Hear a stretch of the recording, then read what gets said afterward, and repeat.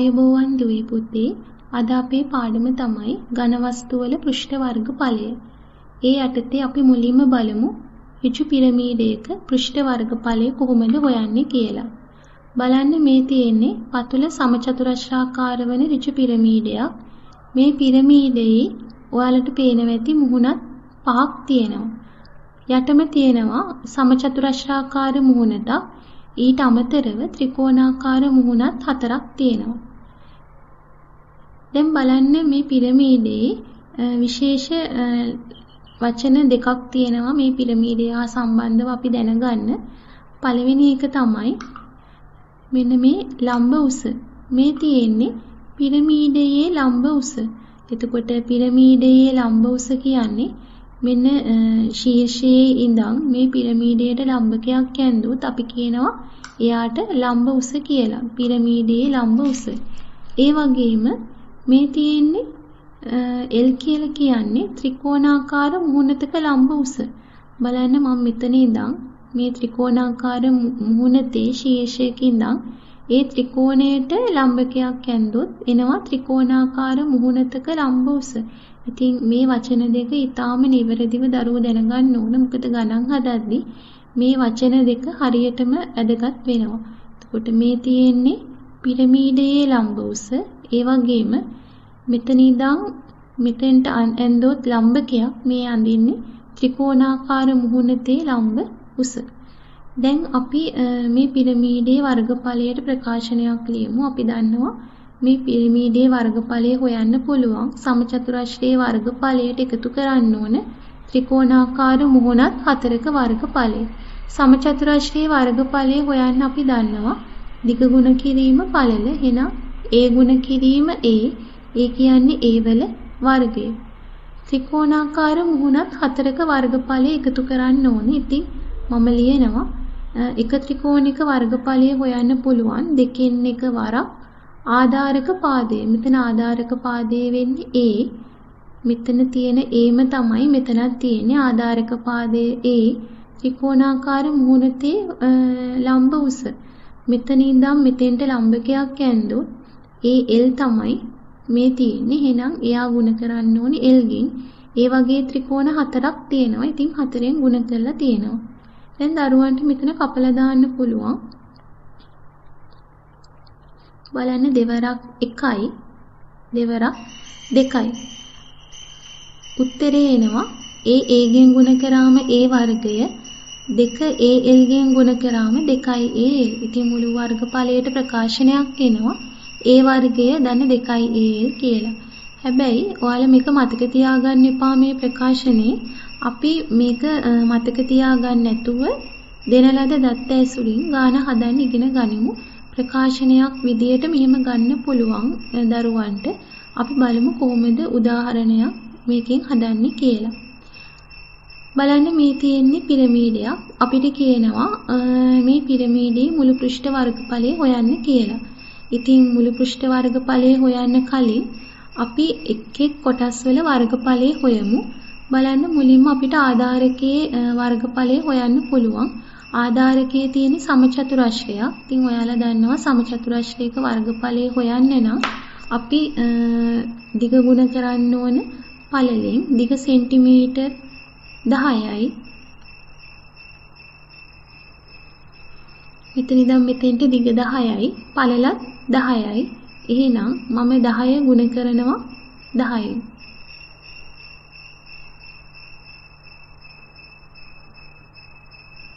දහවරක් 10 100යි. ඉතින් මට එනවා උත්තරේ ආධාරකයේ වර්ගඵලය වර්ග සෙන්ටිමීටර් 100යි කියලා.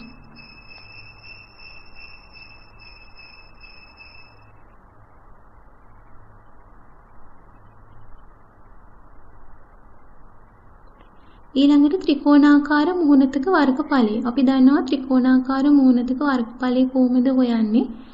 දෙකෙන් එක වරක් ආධාරක පාදය. මෙතන ආධාරක පාදය කියන්නේ මේ ත්‍රිකෝණාකාර මුහුණතේ මෙන්න මෙතන ඉඳන් මෙතෙන්ට තියෙන දිග. ඒ කියන්නේ 10යි.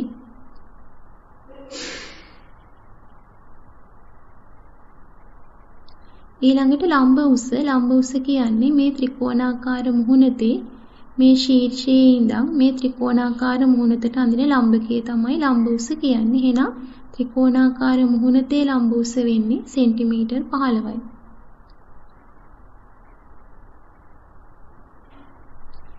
හරි. අපි දැන් මෙයා සුළු කරන්න පුළුවන්, කපලා දාන්න පුළුවන් උඩයි යටයි බලන්න. දෙවරක් 1යි. දෙවරක් 5යි. දැන් උත්තරේ එනවා පස්වරක් 15. අපි දන්නවා ಗುಣ කරන්න තියෙන්නේ ඉතුරුනේ පහ ಗುಣ කරන්න 15න් පස්වරක් 5 25න් 5 දැම්මා දෙකක් ඉතුරුයි. පස්වරක් 1 5යි 2යි 7යි. ඉතින් අපිට එනවා වර්ග සෙන්ටිමීටර් 75යි කියලා. මේ තියෙන ත්‍රිකෝණාකාර මුහුණතක වර්ගඵලය. ඊළඟට කියනවා ත්‍රිකෝණාකාර මුහුණත් සියල්ලේම වර්ගඵලයි. ඉතින් එක මුහුණතක වර්ගඵලයේ වර්ග සෙන්ටිමීටර් 75යිනේ. එතකොට ඒ වගේ ත්‍රිකෝණාකාර මුහුණත් හතරක් තියෙනවා. එහෙනම් 75 ගුණ කරමු 4ෙන්.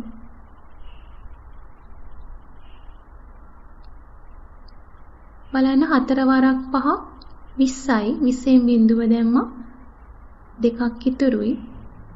හතර වරක් 7 28යි 28යි 2යි 30යි. එහෙනම් අපිට එනවා 300යි වර්ග සෙන්ටිමීටර් කියලා. ඊළඟට කියනවා මුළු පෘෂ්ඨ වර්ගඵලය. දැන් මුළු පෘෂ්ඨ වර්ගඵලය හොයන්න ලේසි. මොකද කරන්න තියෙන්නේ? මේ ආධාරකයේ වර්ගඵලයට එකතු කරන්න ඕන ත්‍රිකෝණාකාර මුහුණත් සියල්ලේම වර්ගඵලය. බලන්න ආධාරක පාදයේ වර්ගඵලය වර්ග සෙන්ටිමීටර 100යි. එහෙනම් මම 100ට එකතු කරනවා ත්‍රිකෝණාකාර මුහුණත් සියල්ලේම වර්ගඵලය වර්ග සෙන්ටිමීටර 300යි. එහෙනම් 100ට එකතු කරනවා 300ක්. 100ට 300ක් එකතු කරාම 400යි. එහෙනම් අපිට එනවා මුළු පෘෂ්ඨ වර්ගඵලයේ වර්ග සෙන්ටිමීටර් 400යි කියලා. ඉතින් ඔයාලට තේරෙන්නේ නැති මේක සාමාන්‍ය ඔයාලා දන්න ගණිතයෙන් තමයි මේක හදන්නේ. එහෙම නැතුව විශේෂ සූත්‍ර මතක තියාගන්න අවශ්‍යතාවයක් නැහැ. එතකොට සූත්‍ර අඩුවෙන් මතක තියාගන්න තරමට අපිට ලේසි. ඉතින් බලන්න මුලින්ම මේ මුළු පෘෂ්ඨ වර්ගඵලයේ හොයන්න මොකද්ද අපි කරේ? මුලින්ම මේ ආධාරකයේ වර්ගඵලය හෙව්වා 10 වරක් 10 100යි. ඒකට එකතු කරන්න ඕන ත්‍රිකෝණාකාර මුහුණත් හතරේ වර්ගඵලෙ. ඉස්සලා ත්‍රිකෝණයක වර්ගඵලයේ හොයමු. දෙකෙන් එක වරක් ආධාරක පාදයේ ගුණ කරන්න ඕන ත්‍රිකෝණයේ ලම්බ උසින්. ඊළඟට ඒ එන ත්‍රිකෝණාකාර මුහුණතක වර්ගඵලයේ හතරෙන් ගුණ කරලා ඒ වගේ හතරක් එකතු කරාම අර සමචතුරස්‍රයේ වර්ගඵලයට අපිට අන්තිම උත්තරේ එනවා මුළු පෘෂ්ඨ වර්ගඵලය. ඉතින් මං හිතන්නේ හරිම සරලයි. ඕගොල්ලන්ට මේක සාමාන්‍ය එදිනෙදා හදන ගණිත දැනුමින් හදන්න පුළුවන්. ඉතින් මේ ගණන් දෙක තනියෙන් උත්සාහ කරන්න බලන්න සමචතුරස්‍රයේ පැත්තක දිග 20යිලු ත්‍රිකෝණයේ මුහුණතක ලම්බුස 15යිලු. ඉතින් ඉස්සෙල්ලා සමචතුරස්‍රයේ ආධාරකයේ වර්ගඵලය හොයන්න. ඒකට එකතු කරන්න ත්‍රිකෝණාකාර මුහුණතේ වර්ගඵලය. ඉතින් දෙකෙන් එක වරක් ආධාරක පාදයේ ಗುಣ කරන්න තියෙන ලම්බ උස 15න්. ඒ වගේව හතරක් හොයලා අන්තිමට එකතු කරන්න තියෙන්නේ. ඉතින් මේ ගානත් පුළුවන්. මේ ගානේ රූපයක් දීලා නැහැ. දරුවන්ට උනා රූපයක් ඇඳ ගන්න පුළුවන්. පැත්තක දිග 8යි කිව්වම මේ පැත්ත 8යි. ත්‍රිකෝණයේ මුහුණතක ලම්බ උස 20යි. ඒ කියන්නේ ත්‍රිකෝණයේ මුහුණතක ලම්බ උස කියන්නේ මේ ශීර්ෂයේ ඉඳන් ත්‍රිකෝණයට අඳින ලම්බ උස. එතකොට ඒක 20යි කියලා තියලා මුළු පෘෂ්ඨ වර්ගඵලය හොයන්න තියෙනවා. අපි බලමු තව ගැටලුවක්. බලන්න මේ තියෙන ඍජු පිරමීඩයක් සමචතුරස්‍රාකාර ආධාරකයේ පැත්තක දිග 12යි. ඉතින් මේ තියෙන සමචතුරස්‍රාකාර ආධාරකයේ පැත්තක දිග 12යි. පිරමීඩයේ ලම්බ උස 8යි. පිරමීඩයේ ලම්බ උස කියන්නේ ශීර්ෂයේ ඉඳන් මේ පිරමීඩයට අඳින ලද ලම්බ උස. අහනවා ත්‍රිකෝණාකාර මුහුණතක ලම්බ උස. දැන් ත්‍රිකෝණාකාර මුහුණතක ලම්බ උස කියන්නේ මේ උස නෙවෙයි. මේ තියෙන පිරමීඩයේ ලම්බ උස. ත්‍රිකෝණාකාර මුහුණතක ලම්බ උස කියන්නේ මේ ත්‍රිකෝණාකාර මුහුණතට අඳින ලද ලම්බකයේ උස. එතකොට මේ තියෙන ත්‍රිකෝණාකාර මුහුණතේ ලම්බ උස. ඉතින් අපි කොහොමද මේ ත්‍රිකෝණාකාර මුහුණතේ ලම්බ උස හොයන්නේ? ඔයාලට පේනවා ඇති මෙතන තියෙන්නේ ඍජුකෝණී ත්‍රිකෝණයක්. මම මේ පෙන්වන්නේ ඍජුකෝණී ත්‍රිකෝණයක්. බලන්න මේ ඍජුකෝණී ත්‍රිකෝණේ මේ උස 8යි පිරමීඩයේ උස 8යි මේ දිග මේ දිග අපිට හොයාගන්න පුළුවන් මේ මුළු දිග 12යි නම් මේ අඳින ලද දිග එයාගෙන් භාගයයි එහෙනම් මට ලියන්න පුළුවන් සෙන්ටිමීටර් 6යි කියලා ඊළඟට ත්‍රිකෝණාකාර මුහුණතේ ලම්බ උස ඒක දන්නේ නැහැ අපි එයා L කියලා හිතමු දැන් දරුවන්ට මතක් වෙන්න ඕන පයිතගරස් සම්බන්ධ දීර්ඝකෝණී ත්‍රිකෝණ වලට. ඉතින් මට ලියන්න පුළුවන් මේ ත්‍රිකෝණේ මම වෙනම ඇඳා. බලන්න මේ නිල් පාට ත්‍රිකෝණේ මම වෙනම ඇඳලා තියෙන්නේ. මේ දිග 8යි මේ 6යි. එහෙනම් L කියන එකේනා හොයන්න පුළුවන් කොහොමද? පයිතගරස් සම්බන්ධය යොදන්න. 8 වර්ගය ධන 6 වර්ගය මේ දිග 6යිනේ 6 වර්ගය සමානයි L වර්ගයට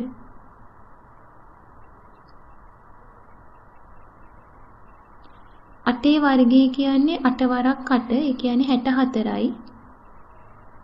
හයේ වර්ගය කියන්නේ හය වරක් හය ඒ කියන්නේ 36යි.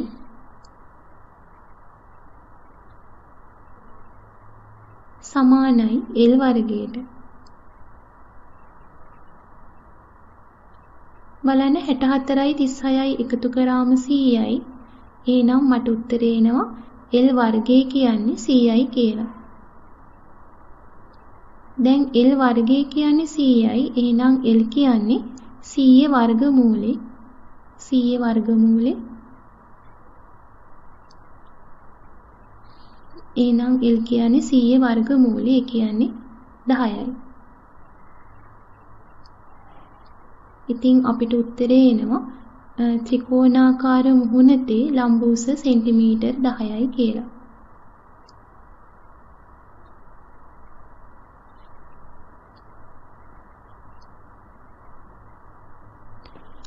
ඊළඟට අපි බලමු ත්‍රිකෝණාකාර මූණතක වර්ගඵලය. දැන් අපි හොයාගත්ත L සමානයි 10යි. ඉතින් මට මේක ලකුණු කරන්න පුළුවන් මේ දිග සෙන්ටිමීටර් 10යි. දැන් අපිට පුළුවන් ත්‍රිකෝණාකාර මුහුණතේ වර්ගඵලය හොයන්න. ඔයාලා දන්නවා කොහොම ත්‍රිකෝණාකාර මුහුණතක වර්ගඵලය හොයන්නේ. දෙකෙන් එක වරක් ආධාරක පාදය ගුණ කරන්න ඕන ඒ ත්‍රිකෝණාකාර මුහුණතේ ලම්බ උසින්. ඉතින් මම ලියනවා. දෙකෙන් එක වරක්. ආධාරක පාදය. ආධාරක පාදය කියන්නේ ත්‍රිකෝණාකාර මුහුණතේ මෙන්න මේ දිග 12යි ලම්බ උස 10යි දෙකෙන් එක වරක්. 12 වරක් 10යි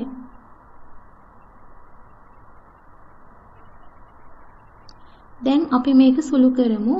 දරුවන්ට පුළුවන් උඩයි යටයි කපලා දාන්න. බලන්න දෙවරක් 1යි දෙවරක් 6යි ඊළඟට එන්නේ 6 වරක් 10 6 වරක් 10 කියන්නේ 60යි ඉතින් අපිට එනවා වර්ග සෙන්ටිමීටර් 60යි කියලා. අපි මේ හොයාගත්තේ ත්‍රිකෝණාකාර මුහුණතේ වර්ගඵලය වර්ග සෙන්ටිමීටර් 60යි ඊළඟට කියනවා ත්‍රිකෝණාකාර මුහුණත් සියල්ලේම වර්ගඵලයි දැන් එක මුහුණතක වර්ගඵලයේ වර්ග සෙන්ටිමීටර 60යි නම් ඒ වගේ ත්‍රිකෝණාකාර මුහුණක් තියෙනවා හතරක්. එහෙනම් 60 ගුණ කරමු 4ෙන්. 6 වරක් 4 24යි. මෙතන බිඳුව අගට එකතු කරන්න. ඒ කියන්නේ 240යි වර්ග සෙන්ටිමීටර.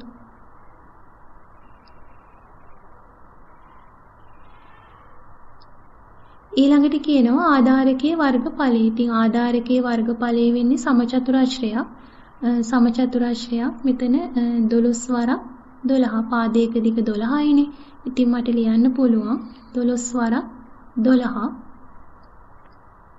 හැමතිස්සෙම මේ පියවර ලියන්න. මොකද ඔයාලගේ සුළු කිරීමක් වැරදුනත් මේ පියවර වලට ලකුණු දෙනවා. 12 වරක් 12 144යි මට ලියන්න පුළුවන් වර්ග සෙන්ටිමීටර් 144යි කියලා. ඊළඟට කියනවා මුළු පෘෂ්ඨ වර්ගඵලය. ඉතින් මුළු පෘෂ්ඨ වර්ගඵලය හොයන්න නම් මේ ආධාරකයේ වර්ගඵලයට එකතු කරන්න ඕන ත්‍රිකෝණාකාර මුහුණත් සියල්ලේම වර්ගඵලය. ආධාරකයේ වර්ගඵලය වර්ග සෙන්ටිමීටර් 144යි. අපි 144ට එකතු කරමු. ත්‍රිකෝණාකාර මුහුණත් හතරෙම වර්ගඵලය 240යි.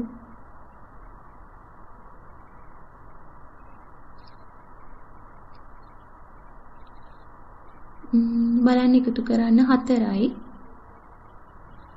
4යි 4යි 8යි 2යි 1යි 3යි ඉතින් වර්ගඵලය එනවා වර්ග සෙන්ටිමීටර් 384යි කියලා. මේක තමයි අන්තිම උත්තරේ. බලන්න ඉතින් අපි සමීකරණ මුකුත් මතක තියාගත්තේ නැහැ. අපි දන්න දීලා තියෙන දත්ත වලින් ගාන හදන්න පුළුවන්. ඉතින් ඔයාලා මේ ගණන් දෙකත් උත්සාහ කරන්න. මේ ගණන් දෙකේ පැත්තක දිග 16යි. පිරමීඩයේ ඍජු උස 6යි. එතකොට පිරමීඩයේ උස කියන්නේ මෙන්න මේ උස. මේ උස තමයි 6යි. අහනවා ත්‍රිකෝණාකාර මුහුණතේ ලම්බ උස. ඉතින් ත්‍රිකෝණාකාර මුහුණතේ ලම්බ උස හොයන්න නම් අර කලින් කියලා දුන්න විදියට ත්‍රිකෝණයක් සම්පූර්ණ කරගන්න. මෙතන ඉඳන් මෙතෙන්ට ලම්බකයක් අඳින්න. එතකොට ඒ අඳින ලද ලම්බකේ මේ විදියට ඇඳාම අපිට එනවා ඍජුකෝණී ත්‍රිකෝණයක්. ඒ ඍජුකෝණී ත්‍රිකෝණයේ ඊළඟට පයිතගරස් සම්බන්ධය යොදන්න. මෙතන ඉඳන් මේ විදියට ලම්බකයක් අඳින්න. මේ විදියට ත්‍රිකෝණයක් සම්පූර්ණ කරගන්න. සම්පූර්ණ කළා මෙන්න මේ අඳුරු කරන ත්‍රිකෝණයට පයිතගරස් සම්බන්ධය යොදලා ඔයාලට පුළුවන් මේ ත්‍රිකෝණාකාර මුහුණතේ ලම්බ උස හොයාගන්න. ඊළඟට පිරමීඩයේ මුළු වර්ගඵලය කිව්වහම සමචතුරාශ්‍රයේ වර්ගඵලයට එකතු කරන්න මේ ත්‍රිකෝණාකාර මුහුණත් වල වර්ගඵලය ඉස්සල මුහුණතක වර්ගඵලය හොයන්න පුළුවන් දෙකෙන් එක වරක් ආධාරක පාදේ ගුණ කරන්න මෙතන තියෙන ලම්බක උසින් ඊළඟට එකතු කරන්න. මේ ගානත් ඒ වගේමයි මේකට රූපයක් ඇඳලා නැහැ දරුවන්ට ඉතින් මවා ගන්න පුළුවන්. එතකොට කැමති නම් ඇඳ ගන්න. පැත්තක දිග 20යි පිරමීඩයේ ලම්බ උස 12යි. ඒ කියන්නේ මේ උස 12යි. එතකොට ඒ උස 12 වුණාම කලින් විදියට ත්‍රිකෝණයක් සම්පූර්ණ කළා පුළුවන් මුළු පෘෂ්ඨ වර්ගඵලෙ හොයන්න. අපි පිරමීඩ හා සම්බන්ධ තව ගැටලුවක් බලමු. බලන්න මේ තියෙන්නේ ආධාරකයේ පැත්තක දිග සෙන්ටිමීටර් 6ක් වෙන ඍජු පිරමීඩයක්. මේ තියෙන්නේ ආධාරකයේ සෙන්ටිමීටර් 6ක් වෙන ඍජු පිරමීඩයක්. ඒ පිරමීඩේ ඇලදාරයක දිග සෙන්ටිමීටර් 5යි. ඇලදාරයක් කියන්නේ මොකද්ද? මේ තියෙන්නේ ඇලයට තියෙන දාරයක්. ඇලදාරයක්. මේ තියෙන ඇලදාරේ එයාගේ දිග සෙන්ටිමීටර් 5යි. අපෙන් අහනවා පිරමීඩේ මුළු පෘෂ්ඨ වර්ගඵලය සොයන්න. දැන් අපි කලින් ගණන් හැදුවා ඊළඟ කලින් දවසේ වීඩියෝ එකේ හැදුවා. බලන්න මේ විදියට පිරමීඩේ ලම්බ උස දීලා තියෙනකොට පිරමීඩේ උස දීලා තියෙනකොට ඊට අදාළ ගණන් හදන හැදුවා ඊට අමතරව හැදුවා ත්‍රිකෝණාකාර මුහුණතේ ලම්බ උස දීලා තියෙනකොට මේ විදිහට ත්‍රිකෝණාකාර මුහුණතට ලම්බකයක් ඇන්දොත් කොහොමද මුළු පෘෂ්ඨ වර්ගඵලය හොයන්නේ කියලා අපි ගණනය කිරීම කරා. දැන් දීලා තියෙන්නේ ත්‍රිකෝණයේ ඇලදාරයක දිග. එතකොට මේ වගේ ඇලදාරයක දිග දුන්නොත් කොහොමද මුළු පෘෂ්ඨ වර්ගඵලය හොයන්නේ කියලා බලමු. ඉතින් එකම ගණන් තියරී යන්නේ විශේෂ ගණන් ක්‍රම නැහැ. දීලා තියෙන දත්ත වලින් තමයි අපි මේ ගණන් හදන්න තියෙන්නේ. අපි මුලින්ම මොකද්ද මේ පිරමීඩයේ මුළු පෘෂ්ඨ වර්ගඵලය හොයන්න අවශ්‍ය දත්ත තියෙනවද බලමු. බලන්න මේ පතුලේ වර්ගඵලය අපිට හොයාගන්න පුළුවන් දිගගුණ කිරීම පළල. ඒක අපි දන්නවා 6 වරක් 6.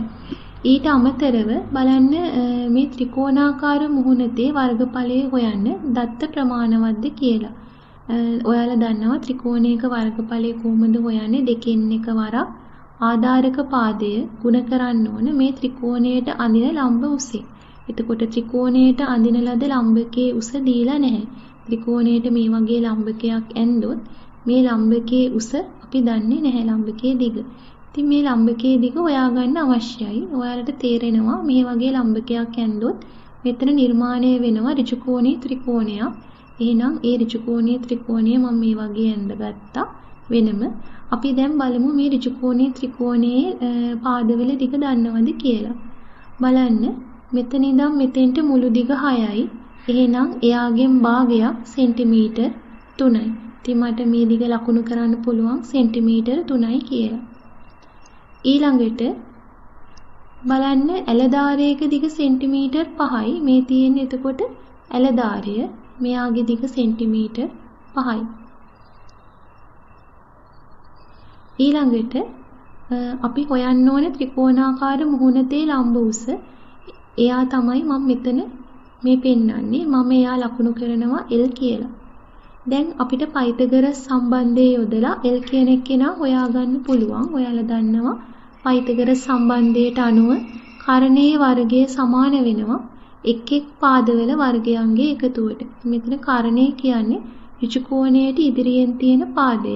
මේ තියෙන ඍජු කෝණයට සම්මුඛ එක්කෙනා තමයි කරණය කියන්නේ. එහෙනම් පයිතගරස් සම්බන්ධයට අනුව පහේ වර්ගය සමාන වෙනවා එක් එක් පාදවල වර්ගයන්ගේ එකතුවට. ඒ කියන්නේ මේ පාදයේ L නම් L වර්ගය එයාට එකතු කරනවා L වර්ගය ධන 3 වර්ගය. දැන් අපි වර්ග කරමු. පහේ වර්ගයේ 25යි සමානයි. L වර්ගය. 3 වර්ගය 9යි 3 වරක් 3 9යි ඊළඟට මෙතන L වර්ගය යුක්ත කරගන්න ඕන. එහෙනම් L වර්ගය යුක්ත කරන්න නම් මේ ධන 9 දාන්න ඕන වම් පැත්තට. එතකොට ඍණ 9ක් වෙනවා. ඉතින් මට ලියන්න පුළුවන් 25 ඍණ 9. එතකොට 25න් 9ක් අඩු කරාම අපිට එනවා L වර්ගය 25න් 9ක් ගියාම එන්නේ 16යි. එතකොට L වර්ගය කියන්නේ 16යි.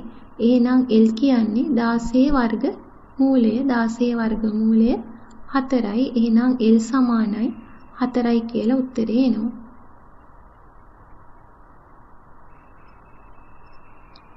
L සමානයි සෙන්ටිමීටර් 4යි.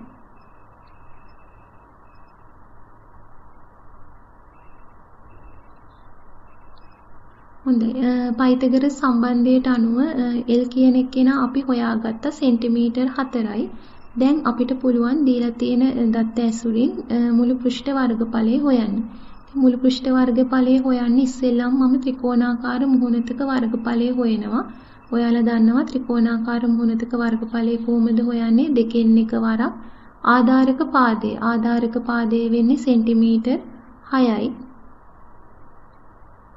ගුණ කරන්න ඕන ත්‍රිකෝණාකාර මුහුණතේ ලම්බ උස.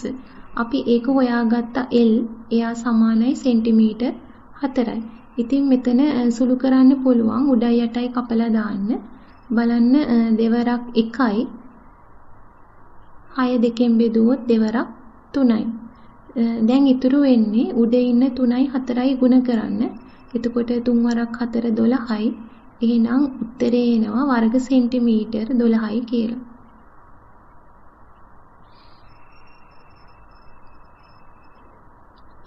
ඊළඟට ත්‍රිකෝණාකාර මුහුණත් සියල්ලේම වර්ගඵලය. දැන් එක මුහුණතක වර්ගඵලය වර්ග සෙන්ටිමීටර් 12යි. ඒ වගේ ත්‍රිකෝණාකාර මුහුණත් හතරක් තියෙනවා. එහෙනම් 12 ගුණ කරන්න ඕන 4ෙන්. එතකොට 12 වරක් 4 48යි. ඉතින් අපිට උත්තරේ එනවා 48යි වර්ග සෙන්ටිමීටර කියලා.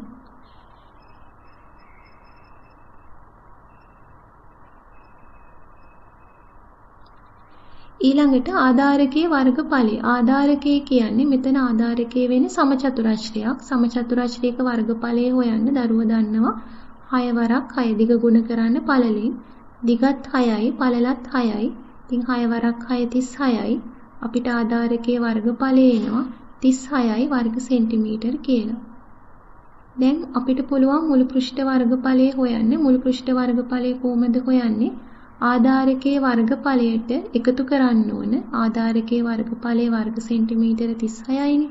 එයාට එකතු කරනවා සමත්‍රිකෝණාකාර මුහුණත් හතරෙම වර්ගඵලය. සියල්ලේම වර්ගඵලයේ වර්ග සෙන්ටිමීටර 48යි. එහෙනම් මම 36ට එකතු කරනවා 48ක්.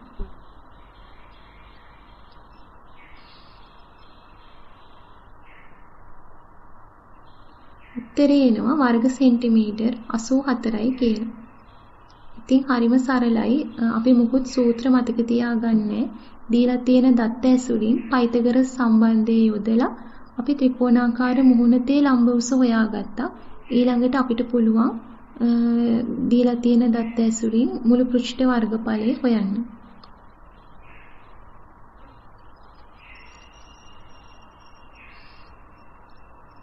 ඊළඟට බලන්න මේ ගානත් හදන්න පුළුවන්. ආධාරකයේ පැත්තක දිග 10යිලු ඍජු සමචතුරස්‍රාකාර පිරමීඩයක ඇලදාරයක දිග 13යි. ඉතින් ඇලදාරය කියන්නේ මෙන්න මේ ඇලීට තියෙන දාරය. එයා 13යි.